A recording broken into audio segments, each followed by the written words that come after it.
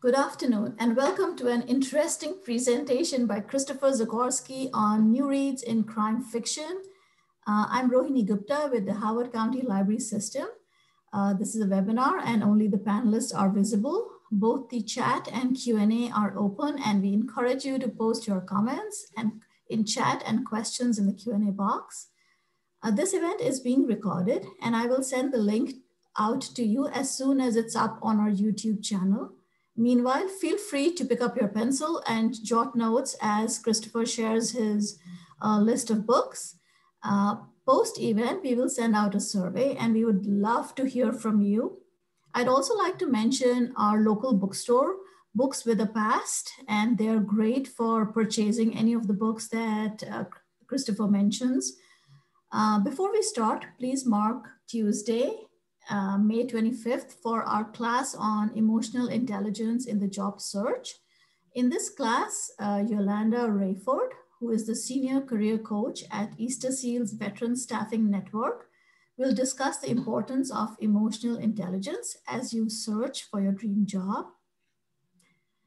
And now it is my pleasure to introduce Kristopher Zgorski, influencer and award-winning crime fiction blogger. Kristopher was awarded the Edgars Raven Award in 2018. The Edgar Allan Poe Awards, popularly called the Edgars, are presented every year by the Mystery Writers of America. These awards honor the best in mystery fiction, nonfiction, television, film, and theater, published or produced in the previous year.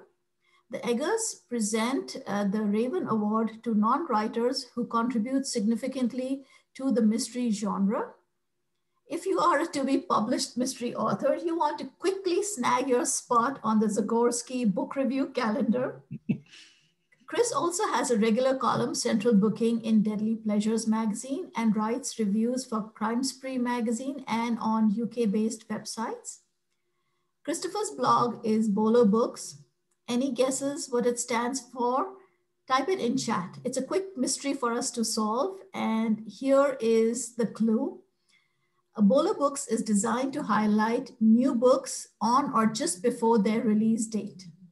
And we will lead, leave it up to Kristopher to solve that mystery for us. Chris, welcome and thank you so much for being here. Thanks so much, Rainey, for having me, and thanks to the Howard County Library for putting on these events and asking me to come and speak today. Here we go. Look, I got the BOLO books. Stands for, are you ready for it? Be on the lookout. It's an acronym commonly used by the police. You'll hear it on all of your detective shows. And um, I thought it was a clever use for the title of the, uh, the blog when I launched it. Um, the success of that title varies. Some people get it right away. Some people take years to get it and they're shocked when they understand and didn't catch it on. so um, now you all know the inside track. I'm going to share my screen here and start my PowerPoint.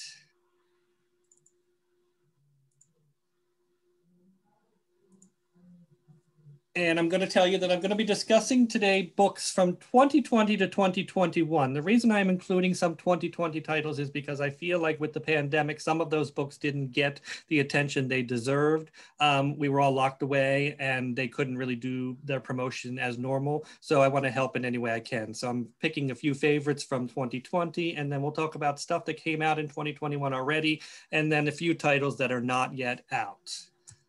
Um, I've divided them up in categories to make it easy so that you can know what you like to read and you can take notes from um, my presentation. So we're going to start with the Cozy Mysteries and one of my favorite new novels of the year from Mia P. Manansala.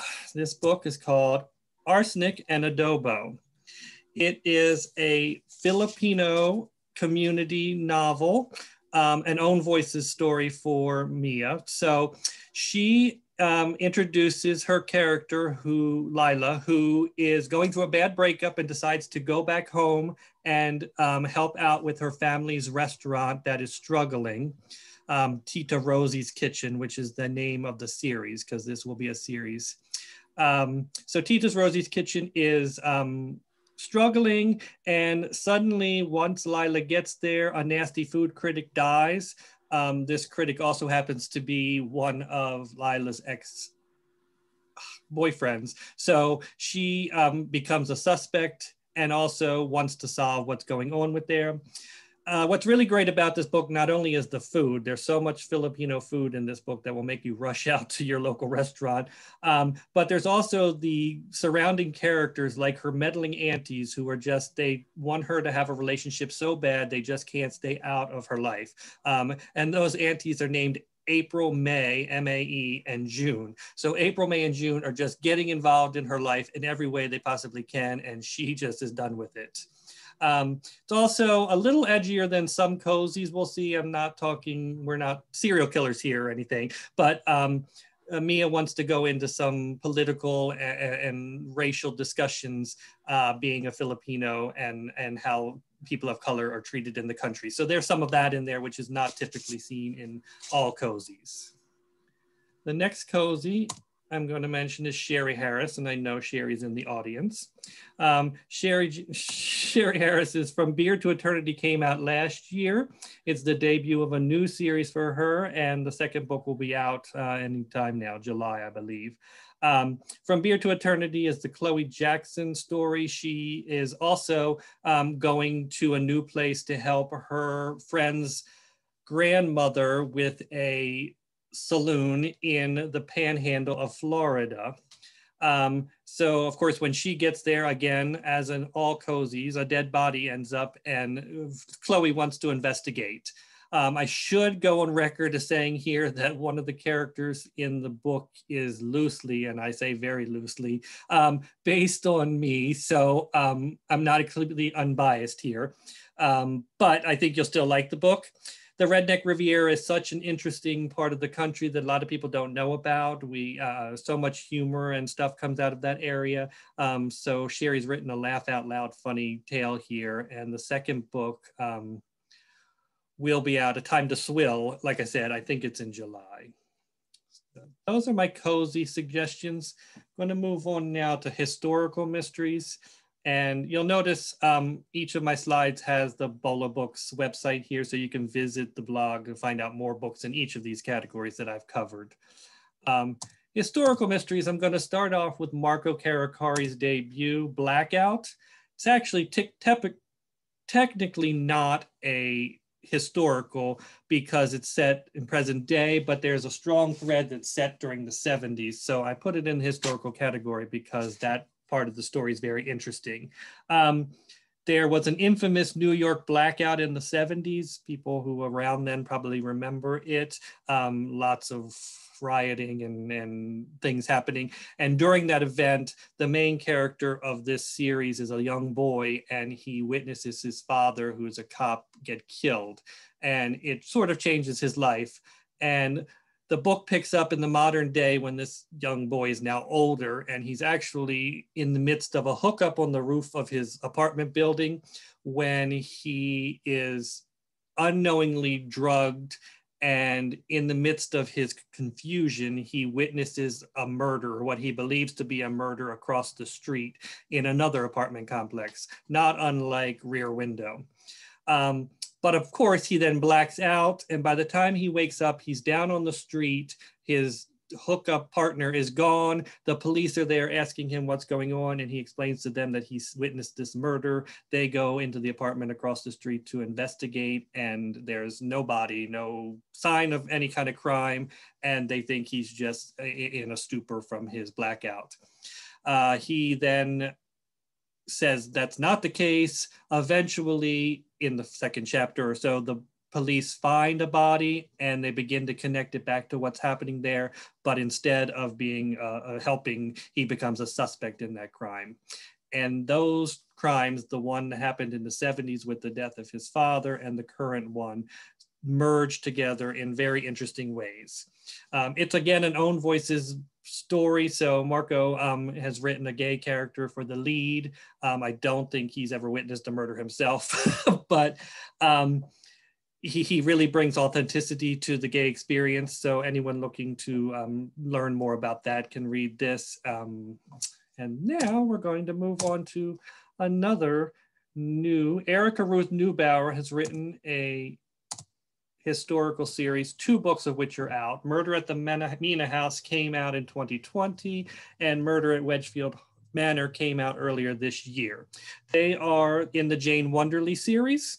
They're set in the 1920s. The first book, that Murder at the Mena House, takes place in Egypt, so it will appeal very much to fans of Elizabeth Peters. Um, her bringing to life of Egypt is incredible. Um, it's an amateur sleuth. She's just on vacation with her aunt and she stumbles upon a crime and wants to help solve it. Uh, then the second book, uh, Erica Ruth has decided she wants to take on another trope of the of the industry. So it's a uh, manor house type mystery. Um, think of Downton Abbey with bodies. Um, both books help deal with the role of women in the 20s and, and, things that they were not allowed to do. And Jane is one of those women who's pushing against the restrictions placed upon them. And there's this sizzling romance that happens from book one to book two that hopefully we'll see come into full force in book three. But um, it, it, it's quite the romance. So there's a little bit of everything in these this series for people. Okay, now I'm going to move on to my favorite type of crime fiction, domestic and psychological suspense. They're pretty much interchangeable these days. Um, originally, domestic suspense would have been limited to families and friendships and those kind of things, but psychological suspense also covers those. So the line is blurred between them. Um, so we just lump them all together. Rachel Howzell Hall, one of my favorite writers, came out last year with And Now She's Gone. This is a blend of a domestic suspense and a PI novel. Um, it deals with Grayson Sykes. She's a newbie PI at a firm, and she's given her first assignment her first big assignment after having done little things to find Isabel Lincoln, who has, at the request of her husband, who's a doctor. He says she's gone missing and taken their dog, and he needs Grayson to help him find her. Um, so she begins that hunt. We get some other storylines that are woven in there. Um, this one has lots of twists in it, uh, deals with the cult of toxic masculinity that we've seen throughout the, our society.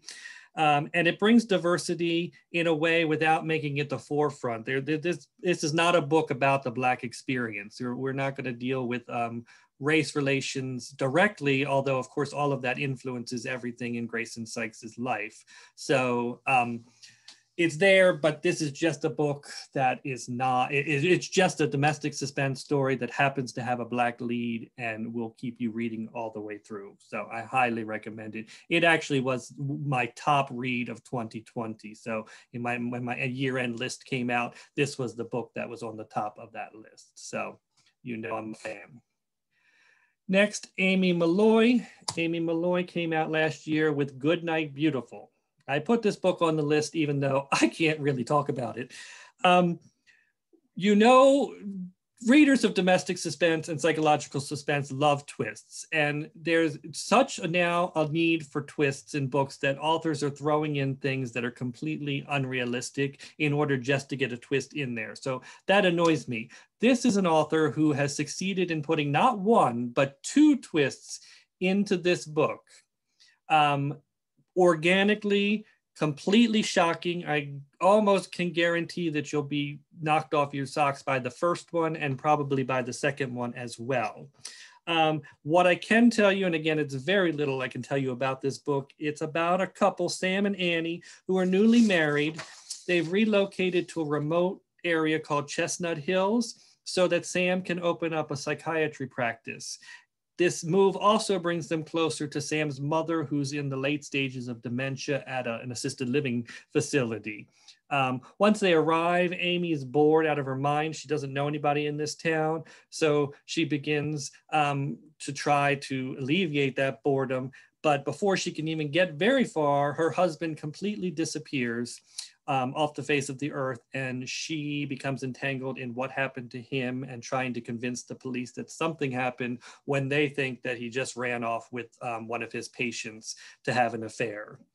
Um, Molloy really uses the reader's expectations to turn the story on its heels for them. So what you expect to happen isn't going to happen, but the way she makes what you expect to happen into that twist is just magical to watch. I think this book should have been bigger than it was. Um, so I hope you'll check it out. I think it's a really great novel. Now I've paired up two books that really have um, connections besides the word eight um, in both of them, Alex Pavesi's debut and then Peter Swanson's latest. Um, I'll start with Alex Pavesi's The Eighth Detective.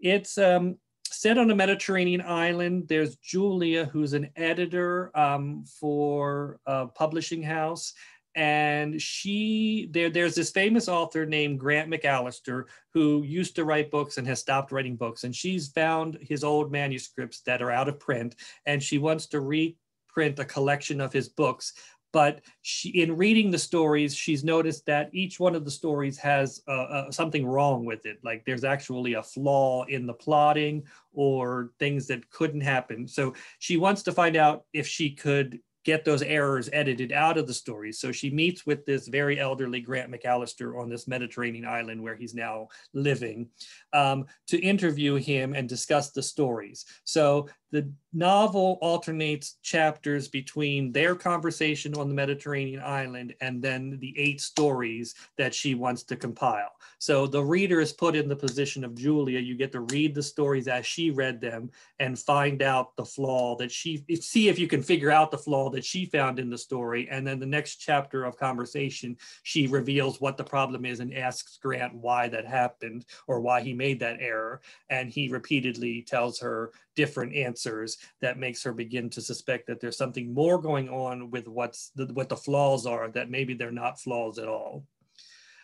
Um, Peter Swanson, Eight Perfect Murders, again, one of my favorite books of 2020, similarly uses the, the, the eight, in this book, there's a bookseller who has listed on the bookseller's website the eight books that have perfect murders in them um, this bookseller thinks there's only eight of them and he thinks that every one of them is the perfect way to murder somebody and get away with it.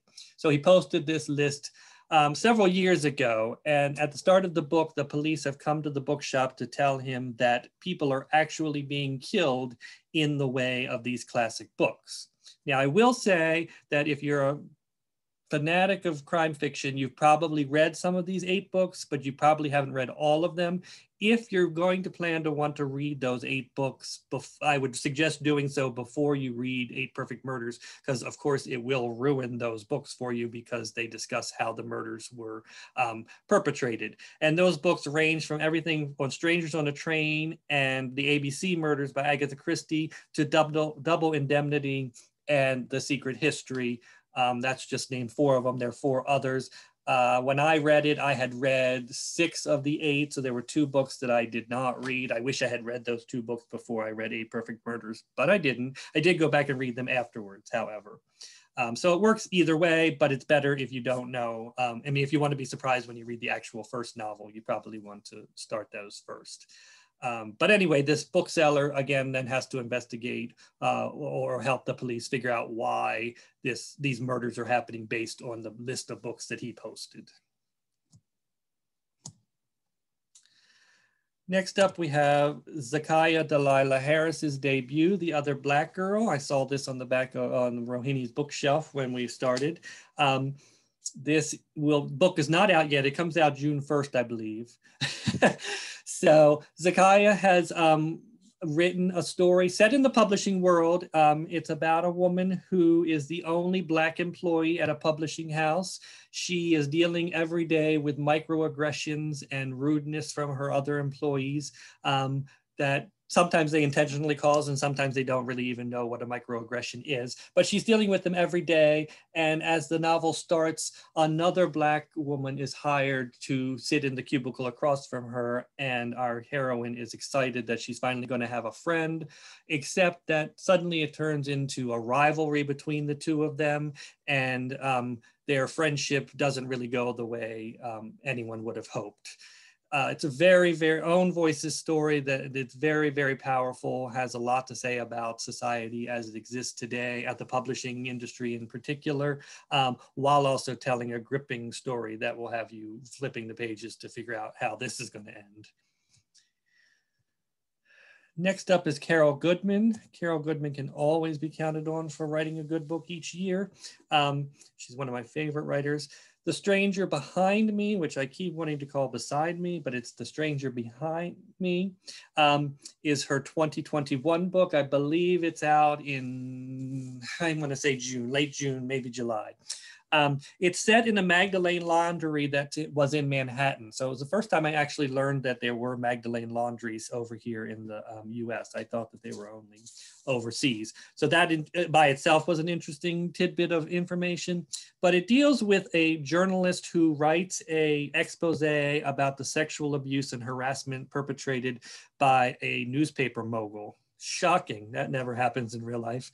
Um, and the day after her story is published, she's attacked out on the street. Um, she's not sure if there's any connection, but she fears for her life. So she decides to move into a new secure building in the area um, that used to be a Magdalene laundry and is now a, a, pretty much a fortress where you need to get to get in. You have to have special privileges and stuff. So she moves into this building and meets a 96 year old resident who is living there. This woman um, witnessed a murder way back in the days and moved into this house um, to also hide. So the two of them are bonding over their their seclusion from society and their fear of what's happening outside. When another third resident uh, moves in and throws both of their lives into turmoil. Um, sort of a gothic feel to this and, an interesting take on the Me Too movement. We've seen so many books um, about the Me Too movement that um, it's getting repetitive. I think Carol Goodman has found a different tact here. Um, so I enjoyed that. Next up is PJ Vernon's debut, Bathhouse. Um, this similar to the previous book, Blackout. Um, this is an own voices story from a gay storyteller.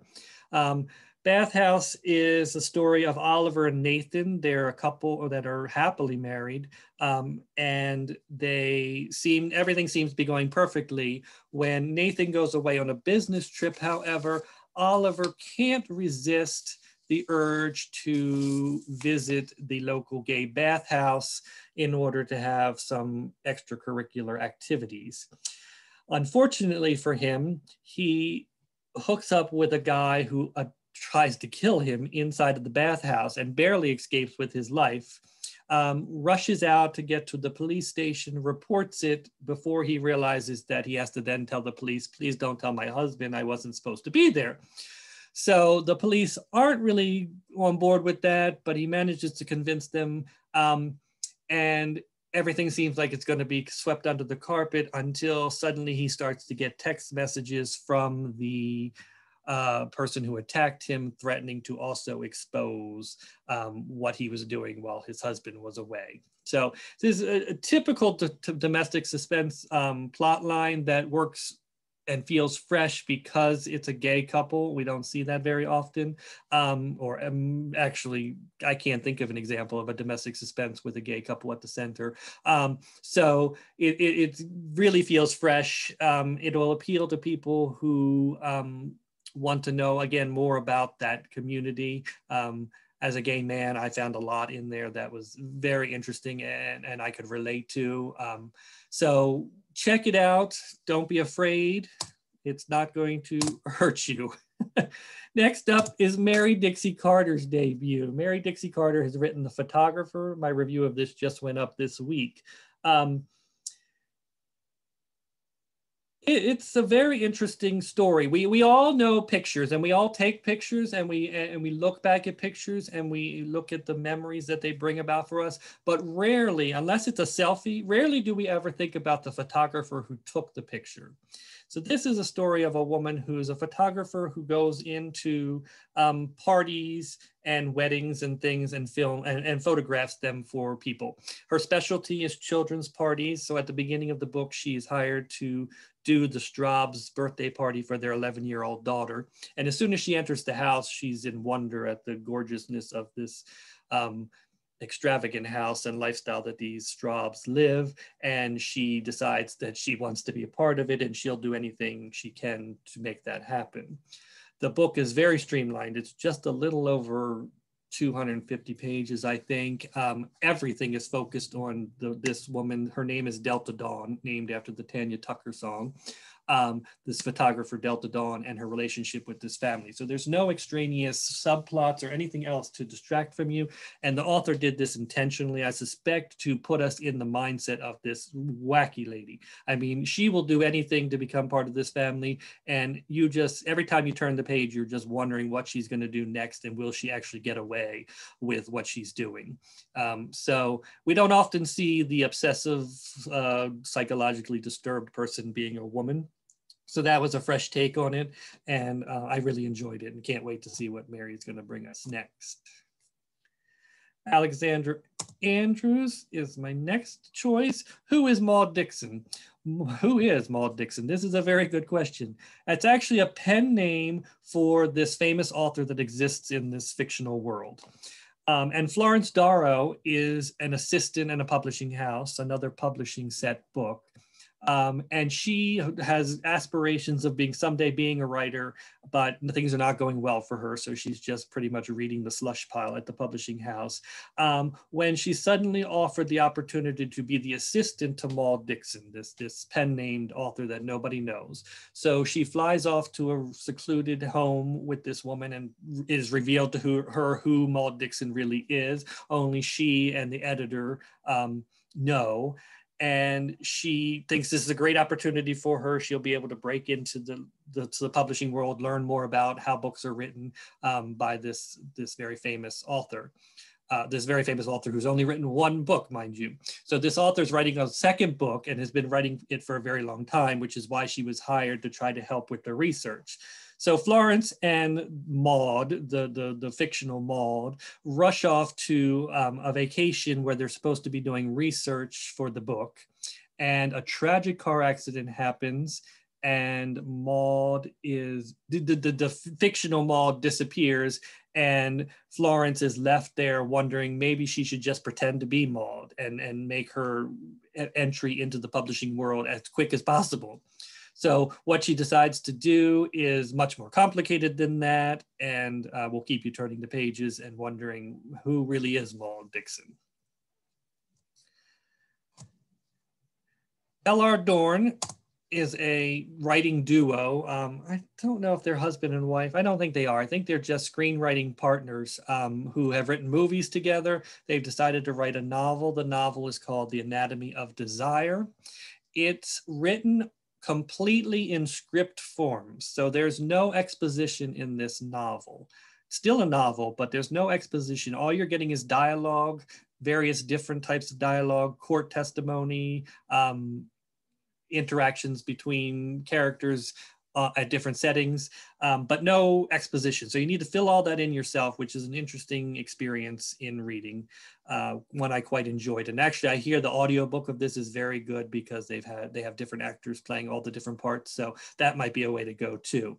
But it's the story of this very high placed influencer who is out on a canoe with her friend when the canoe capsizes and the friend drowns and she's then accused of murdering that friend and shows a lot about what social media is like these days and how we can see you can go from being the biggest thing one day to being canceled and and, and vilified the next. Uh, sometimes you know deservedly so and sometimes not so deservedly so. Um, i can tell you while you're reading this book your your loyalties will flip, flip back and forth multiple times all the way up to the very end. And even after it's over you may still feel like maybe the outcome wasn't the outcome that was deserved. Um, quite an interesting book. I'd be interested to see what this um, duo do next um, because I don't think they can do the script idea again, but it was very effective for this story. So I'm hoping that. Ben McPherson is another writer who is probably not known to many of you. He only has one other book. It's called A Line of Blood. It's one of my favorites. Um, he wrote a book called The Island. This is actually the UK cover. I forgot to grab the um, US cover, the U.S. cover is called Love, and the book is called Love and Other Lies in the US. So write that down because I should put that up here. But it's The Island in the UK, which is where I read it because I couldn't wait. It is um, centered on a large terrorist attack that affects Norway. Many of you may remember an actual case where um, armed gunmen stormed a camp, a childhood, a child's school or camp in Norway and killed all of the students. Um, so this book deals with that, but it's not really about that part that happens in the first chapter. It's a gripping chapter that's harrowing to read. Um, but it's really about the fallout of this one family. One of family's daughter has gone missing on the island. Um, in, in, this case, all of the people are not killed. I think in the real case, everybody was killed. Um, but in this case, some people survived. So there's a question of whether the daughter is is dead or if she just hasn't been found yet. So the family on the mainland is dealing with what's going on on the island. They can't get to the island because of the, the police activity. Um, and she has a younger sister who's traumatized by this whole thing and, and, deals with each family members how they reconcile what could have happened to their daughter. Um, very powerful read. Um, like I said, the first chapter is a tough read, so uh, be prepared when you sit down to read that chapter. That it's just going to any anytime you have children being harmed, it's difficult. But this is written pretty realistically, so it, it's difficult. But once you get through that, it really becomes about the trauma and overcoming the trauma. So there's not so much of that after you get through the first chapter. I mean, I'm going to go from there to Megan Abbott, who is another of my favorite writers. Megan Abbott has been writing for years, and she's lately been focusing on females and female relationships. Um, she's written about cheerleaders and gymnasts and, and famous or, or female scientists. Uh, her new book is focused on the ballet world and tells the story of um, two sisters who inherit their mother's ballet studio and the one sister's married and then the other sister decides that they need to upgrade the the studio to make it more appealing to new students. So they hire a handyman. That foursome becomes the the, the clash that moves this novel forward. Uh, again it's an interesting look at sisters and that relationship um, especially sisters who are in a field that's so competitive as ballet is um, so I think people will like that. Uh, if you liked any of her other books about the cheerleaders or the gymnasts, you will definitely love this book. Uh, I think it's out in, I think it was due in July. I think it's now been pushed back to August. So I think this is the latest book on my list. So that'll be a late summer book for you um, to check out. Traditional mysteries. These are mysteries that sort of don't fit in any other category, but are mysteries themselves. Elle Cosimano was a young adult writer. She won an Edgar Award for one of her young adult novels, um, but she's moved on to the adult world with this hilarious uh, Finlay Donovan is killing it. This is a story of, again, a publishing story. It's interesting. We're seeing a lot of stories set in the publishing world. This is about an author who um, is working on her next novel and she meets her agent at the Panera Bread in her neighborhood and they're discussing her contract and how she needs to have another hit or she's going to lose her contract and the person sit the lady sitting to the table next to that to the, the table next to them overhears parts of the conversation and then begins to suspect that Finlay is a hitman and that the hit and contract they're talking about are murders. And she happens to want to get rid of her husband so she decides she's going to hire Finlay to um, kill her husband. So she passes her a note secretively across the Panera bread and Finlay reads it shocked, of course, but then realizes that she could really use the money. What the money, money this woman is offering is really good. But of course, she's not going to kill anyone. But she thinks, well, maybe she can just investigate and see what this woman's problems are with this husband and settle it in another way. And maybe the woman will give her some of the cash. So she sets out to do that and pairs up with her nanny, who um, is there to help her with the child, but the husband, for many reasons, that she's not the nanny anymore. So um, she says, I'll keep you on the paycheck and you just help me do this investigation of this man. And they become, in my review, I described them as the Lucille Ball and um, Ethel Mertz of crime fiction.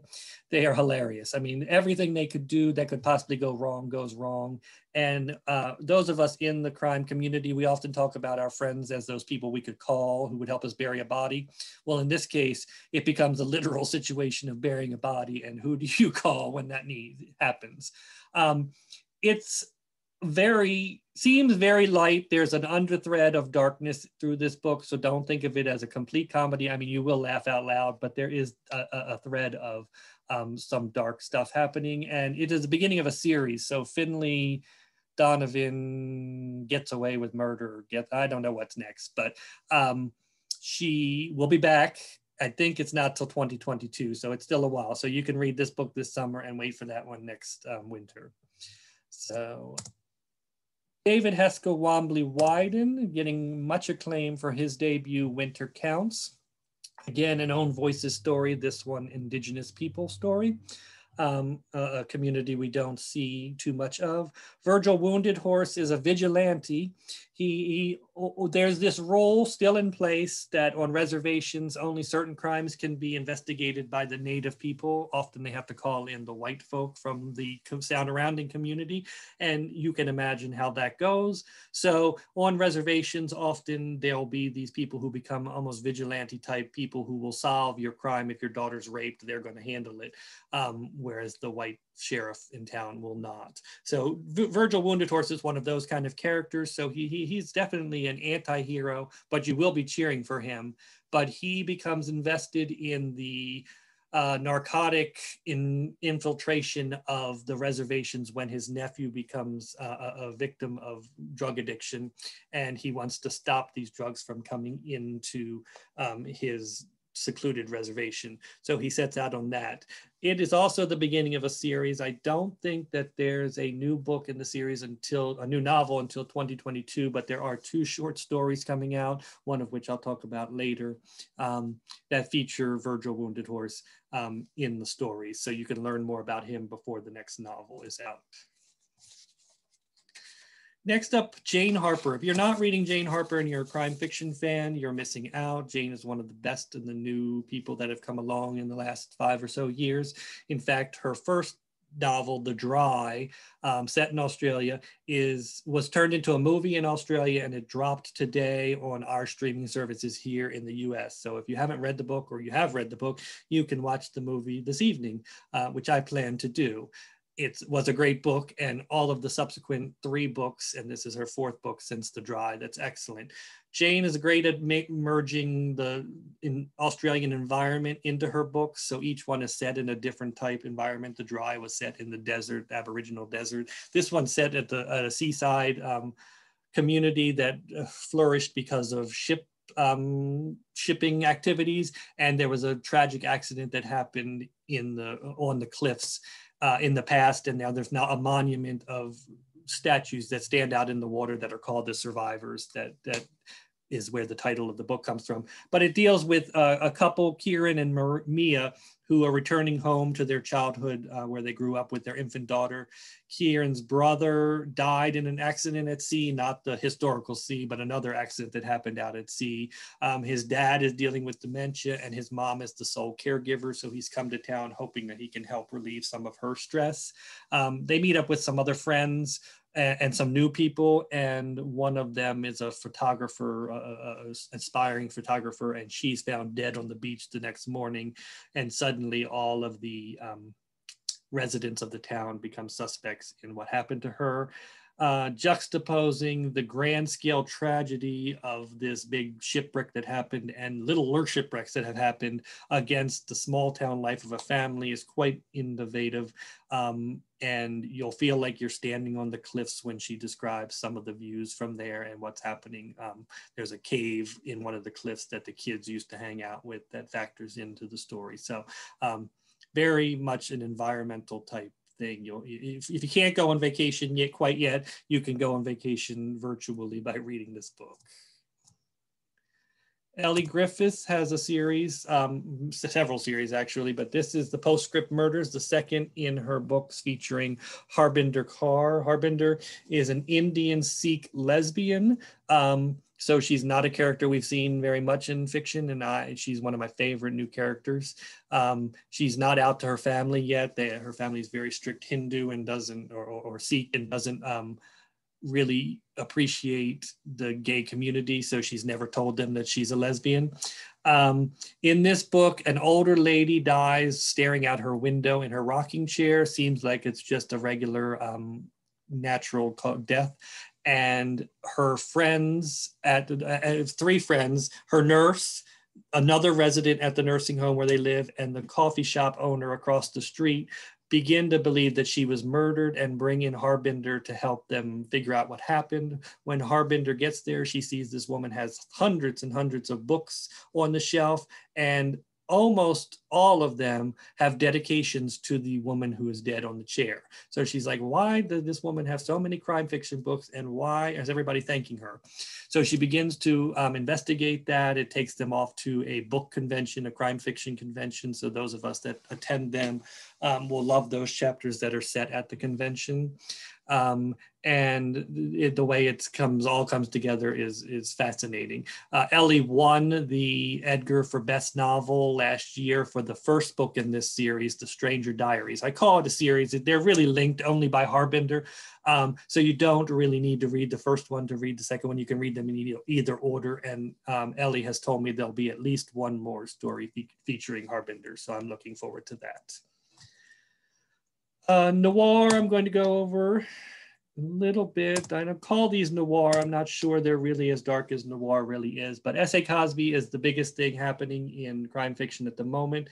Blacktop Wasteland was his 2020 book. It was my second favorite book of last year. It's a um, novel about a heist. It, it features Beauregard Montag, who is a man who got out of the criminal field when he had a family and, and, is now trying to be on the straight and narrow, but he's struggling with um, paying the bills. He gets an offer to be a heist, uh, the getaway driver for a heist one more time, and he reluctantly goes into that, and things don't go as planned.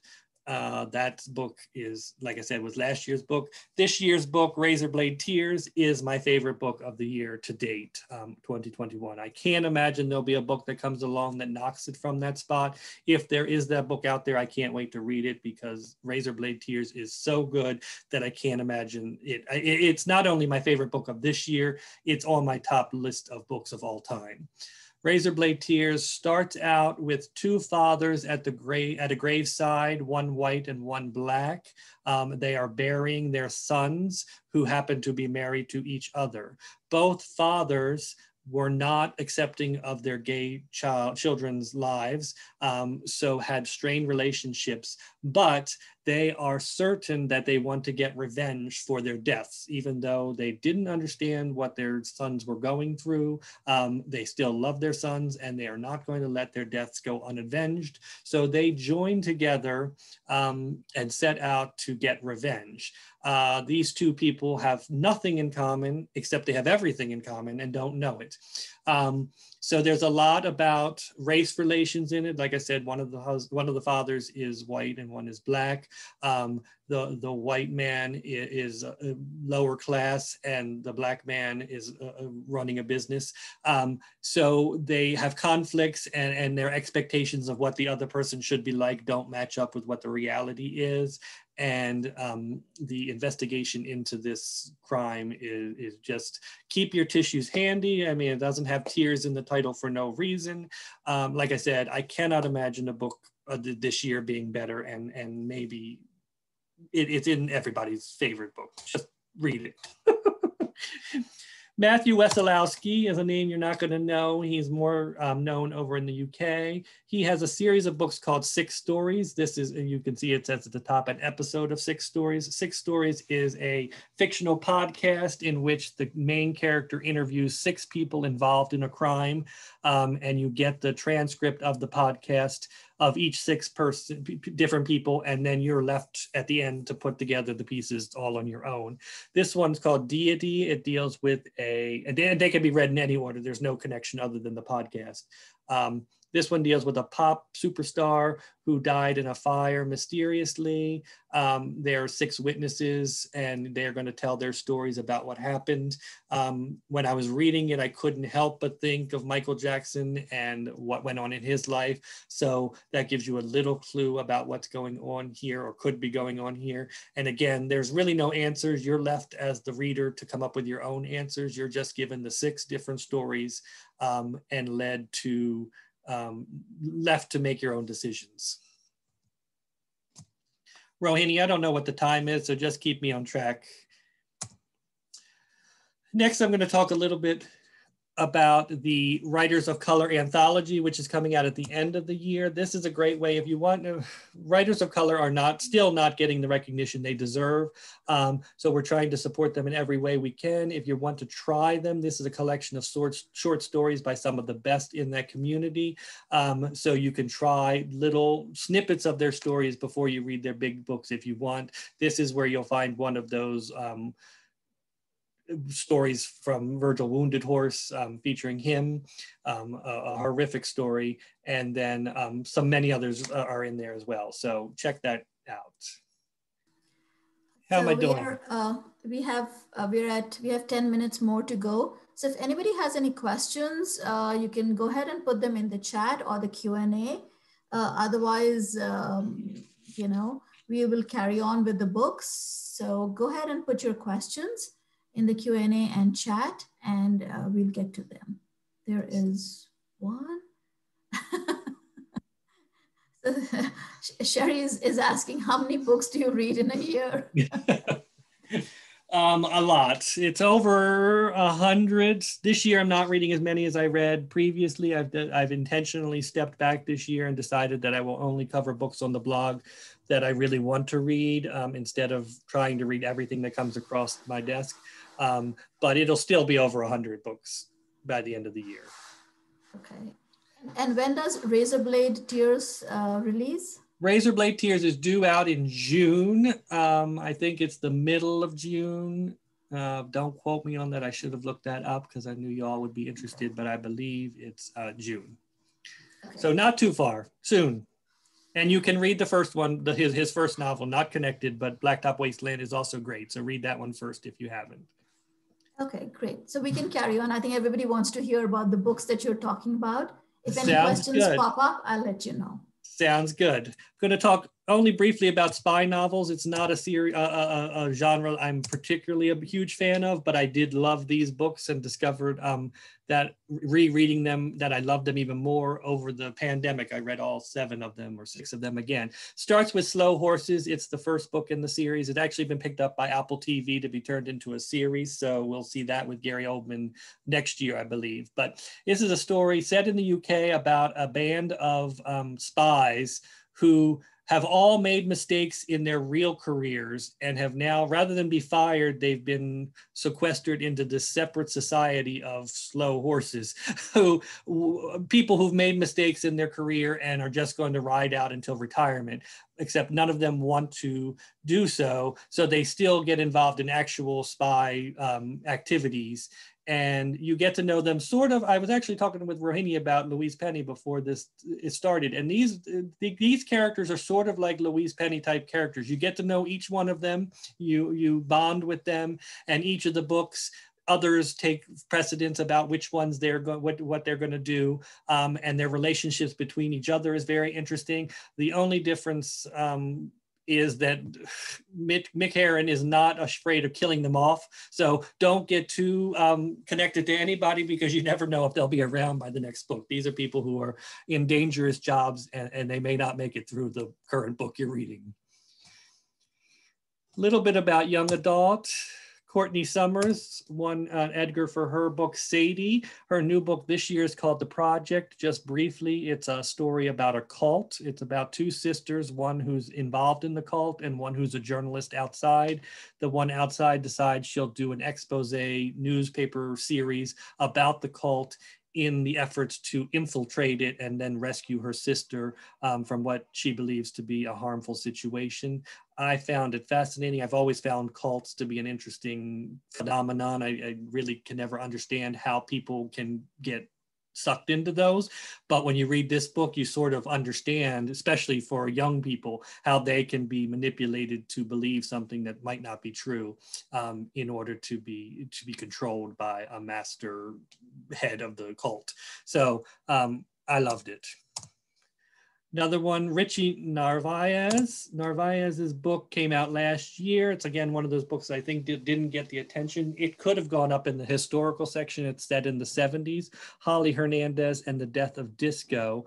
Um, very, very touching book about Holly Hernandez is in a school in New York City. She's living a normal life. Everything's fine until one of her teachers is murdered and, or killed, and her mother, who happens to be the local police um, person comes in to investigate and then her life her social life goes to hell quickly. Um, but one of her other friends xander is accused of the murder. Um, he's quickly figured out that he couldn't have murdered it but he and holly together decide or not even together they decide they're going to figure out who murdered it, but they want each wants to do it before the other one does. So you get alternating chapters from Holly's perspective and Xander's perspective on the investigation, and you as the reader can put together. They're not communicating with each other with what they're finding, so you know more than each of those two characters um, for much of the novel, and it ends in a at a discotheque that's um, typical of the era. So it's it's fun. It's a fun little book. Um, I think it's great to bring young readers into our crime fiction community. Um, sort of like a modern day Nancy Drew and Hardy Boys. So um, a little more racy than those books, but that's the society we're in these days. And then I'll end with just some nonfiction titles. I have two of them. The MWA Handbook came out just recently. It's um, MWA, as um, Rohini said, was gave me the Raven Award in 2018 and uh, uh, many of their writers have come together to put essays together about writing mysteries. It's called How to Write Mystery. Um, it readers will love this book too. It just talks about settings and characters and creating those kind of things, and then what happens after your book comes out, what are reviews and all that kind of thing. What that what's that experience like? So everybody can get something from it. It's not really a handbook on how to write a mystery, although you could use some of the advice in there um, to do so. And similarly, my other choice, How Done Dunnett it's a very similar book, um, but it's from the UK. Um, it's the Detection Club is the oldest and most famous network of crime fiction writers in the world. Um, it's still running today. It's been running for years. Agatha Christie and Dorothy L. Sayers were all members of the Detection Club. And these are essays from 91 of the members throughout history, um, some current members and some that have passed on and all linked together by short little anecdotes from the current president, Martin Edwards. So it's great for both readers and writers. And lastly, I just want to tell you about More Than Malice. I am the secretary on the board of directors for Malice Domestic. This year, our convention is going virtual. So we're going to have that July 14th to 17th. Um, it's a $60 registration fee, which is very reasonable considering the level of authors we have at this event. You can find out who all those authors are by going to www.malicedomestic.org. Um, I can tell you, you'll see names like um, Lee Child, Charlaine Harris, Louise Penny, um, uh, just anybody who's anybody. There's a lot of names on there, and we tried to cover every part of the community we possibly could. So there's some um, Agatha Christie scholars that are coming. There's going to be some discussion of true crime. So there's a 20 panels, and there'll be one for each everybody. And even though it's during the week and into the weekend, they're all recorded, and you'll be able to watch them later if you have registered. So it, it's a great value for 60 bucks. So join us does sound fantastic. And uh, maybe next year it'll be in, in person. Hopefully we'll go back. And when it's virtual, the advantage is that even if, you know, sometimes panels run uh, at the same time, but then if it's recorded, you can see it later. And um, so I've been going to a lot of these book conferences and I think they're great. Uh, hearing a, a, writer, an author in person really brings, uh, you know, adds a, another dimension to the book that you're reading. You kind of understand where they're coming from a lot better. So I really recommend, um, you know, going for a book conference. It's great fun.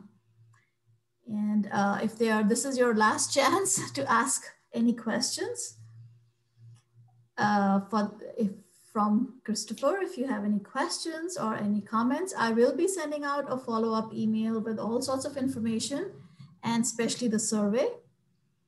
Uh, as soon as the link is up on YouTube, I'll be sharing that too. But meanwhile, if you have any questions, that would be, yes. Uh, I think this was a great presentation. Kathy, Sherry, everybody is saying it's a great presentation. Why is psychological suspense so popular now? That's an interesting question, Sherry. Um, I think I think readers like to read things about things that could happen to them, and most of those domestic and psychological suspense novels are at a level where we could actually have some of those things happen. Hopefully, not to the level of a murder, um, but certainly everybody knows people who've been through affairs and those kind of things, and they all weave into those. So I think that's part of the reason. And I just think we're very interested in in the psychology behind what makes people do what they do, whether they're good things or bad things, and and, and that lets you um, get a glimpse of that. Uh, Deirdre had a really good question. She wanted to know. Um, how do you select the books that you read? I do a lot of research before um, every year. I mean, every month I do research, but at the beginning of the year, I look at what's coming out. I mean, I talk to publishers. I have connections with most publishers, so they're they're they're keeping things on my radar. They know what my interests are. Um, I read, like I said, I, I won't post a negative review. I never have posted negative reviews. So if I don't like a book, I don't talk about it. It doesn't mean I like every book I've read. There are many I don't like. I just don't talk about it because I know somebody else will like it and I don't want to steer anyone away from a book. But I do try to highlight books that I love that I hope people will love. And I've heard from people who followed the blog for years. It started in 20, 12. Um, so uh, people have been following it for years. They tell me that they, they've grown to understand my tastes and they can base what their opinion of a book will be off of what I say based on their own opinion. So if you follow a reviewer long enough, you get to know whether you agree with them or disagree with them. I mean, you may completely disagree with me, but you can still follow me because then you know, well, if I loved it, don't read it. so, I mean, it could go either way. And um, Kathy wanted to know why why did you say you could not talk much about Goodnight Beautiful? It's because of the the the plot is so intricate. Like anything I tell you would be a spoiler. I can't. I mean, it, there's a spoiler very early in the book. Normally, I can talk about a book and give you like the first 50 pages and talk about it. I can't talk about much of this book at all because there's a twist very, very early in the book. So um, what I could tell you was about it, but if I told anything else, it would spoil the book for anybody, and I'm not going to do that. Not for a mystery. exactly. yes. Well, thank you so much, Kristopher. This was excellent. And uh, I, I cannot wait to look at the recording myself so that because um, you know so many of these names I've heard, but now I'm going to go back and kind of put them on hold, or or you can go to Books with the Past and buy them and support our local bookstore this is another thing I try to do with the blog is I try, I mean, I read like, I mean, I read everybody in the field, but I don't normally review, like you're not going to see a review from Stephen King on my blog because he doesn't need the help. So I really do try to give the authors who are mid-list and, and, and lower some attention because those big people are getting covered everywhere else. So while I do read those books, I just tend not to review them because I just think that they've already got the coverage they need and I think that that's great because, like you said, uh, you know, it's difficult for an author to get established in such a market. It is a very tough market to kind of make a mark in. So and sure the pandemic just made it more difficult. So it did. It did for for both authors and booksellers. It did. Well, thank you, everybody. Have a great, great weekend. Since we've got all of our summer reads now in our hand, we should have a have it all set. Take care then. Thanks so Bye. much. Thanks, Kristopher.